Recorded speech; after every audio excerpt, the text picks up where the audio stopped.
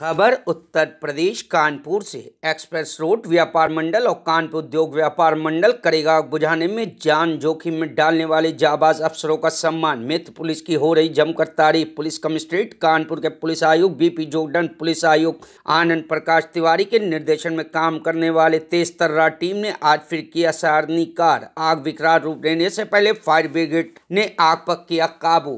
जनता में जमकर हो रही है तारीफ़। सड़सठ बड़े एक सौ सत्रह canal road, Harbansh mall, Banaras hotel व प्रगति एकेडमी के बगल में आग लगने की सूचना, व पुलिस कमिश्नरेट थाना, हरबंश मॉल, चौकी इंचार्ज, प्रमोद कश्यप व एल संजीव दीक्षित आदि सबसे पहले पहुँचे। क्षेत्र लोगों के सहयोग से आग बुझाने की प्रक्रिया शुरू की। फायर ब्रिगेड की गाड़ी के आने से पहले आग बुझाने की कोशिश शुरू की, जिसमें आग ने विकराल रूप नहीं ले पाई। सोशल मीडिया में आग बुझाने की कोशिश का वीडियो हुआ वायरल। पुलिस आयुक्त बीपी जोगडन व सहयोग पुलिस आयुक्त आनंद प्रकाश तिवारी के निर्देशन में काम करने वाली पुलिस फोर्स पुलिस की हो रही है सराहना। मौके पहुँचे, फायर ब्रिगेड ने आग पर पूरी तरह काबू पाया। किसी प्रकार की जनहानि व बड़ी दुर्घटना नहीं हो पाई।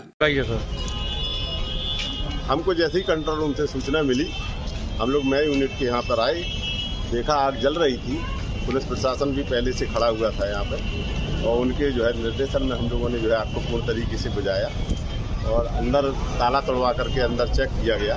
वहाँ पर कोई न तो ऐसी कोई कैजुअलिटी हुई, ना ही वहाँ पर कोई ऐसा आदमी था, हम लोगों के आने से पहले आदमियों को निकाल दिया गया। आग पूर्ण रूप से बुझा दी गई है, और निरीक्षण भी कर लिया गया है। अब आग लगने का कारण पता किया जाए। Bureau report news hub Bharat.